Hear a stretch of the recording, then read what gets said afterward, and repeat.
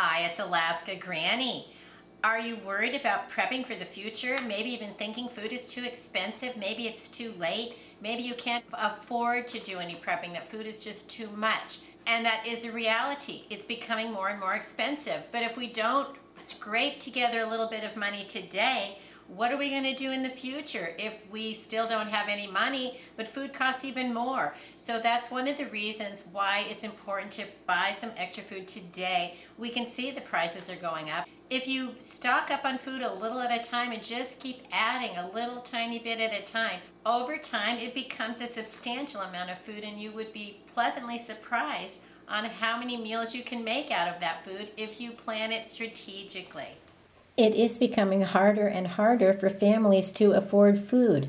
Just look at the statistics from one of the food banks that was recently in the news. Demand is up 60%, while donations are down 50%.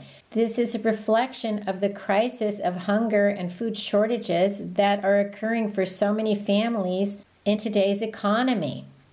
I was recently on a trip overseas and I met a man in Malaysia who told me when the pandemic first happened, everybody was excited. Okay, we now get a holiday. We can relax, lay around, take some time off, enjoy our families.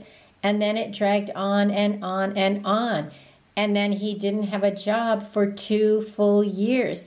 He's so thankful that they've opened again. Tourism is coming back. He said it will stick with him for the rest of his life that he didn't have enough food for his family. And as soon as he had any money again, he bought pounds and pounds of rice. And it had never occurred to him ever before to make sure that he had rice on hand for his family. It's not too late to stock up on some basic beans and rice. Just look here at the prices at Walmart. You can get a 8 pound bag of pinto beans for $6.88. That 8 pounds of beans has 104 servings at 120 calories each for a total of 12,480 calories. 20 pounds of rice at Walmart is $11.14. The 20 pound bag of rice has 202 servings at 160 calories each for a total of 32,320 calories. If you combine the beans and rice, which make a perfect protein, you have 44,800 calories in just those two packages of food. If you average 2,000 calories per day, you have 22 days worth of food for an emergency for only $18. So when we look at some of the news, it's so gloom and doom. And sometimes we let that get into our heart and we feel like we are defeated. You can't do that. Don't destroy your own hope for the future and suck the energy out of yourself with negative thoughts figure out how can I plan for the future so that I'll be able to take care of myself and make the best out of each day. We want to enjoy the life that we have.